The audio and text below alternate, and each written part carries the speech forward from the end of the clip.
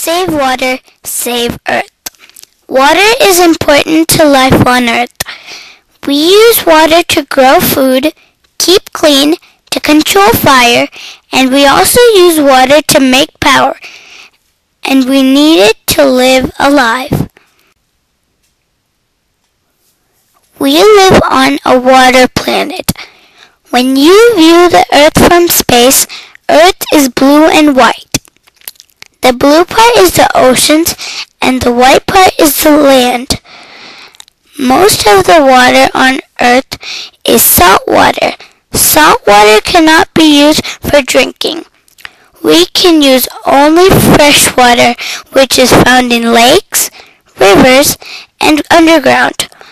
This fresh water is only 1% of all the water on Earth. Let's see how we can save water. Shorter showers can save 3 to 5 gallons of water per 1 minute. Don't leave the water running when you brush your teeth or wash your hands and face. Faucets use 2 to 3 gallons of water. Don't flush too many times. You can save 10 to 15 gallons of water by filling the bathtub only half.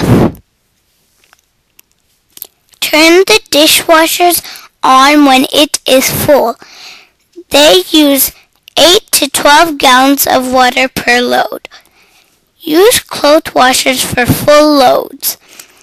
Each load of laundry needs 50 gallons or more water. When you are washing the vessels, don't turn the tap on. Store water in the fridge so you can avoid running the tap until the cold water comes. Take water in small bowls. Use it to clean fruits and vegetables. You can reuse that water for plants.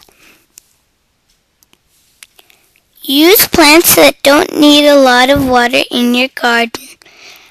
Don't water gardens when it is too hot. Up to 90% of water you used lost through evaporation. Instead of pouring water to clean your driveway or sidewalk, use broom and sweep. Save water. Every drop counts. Save the planet. We are all in this together.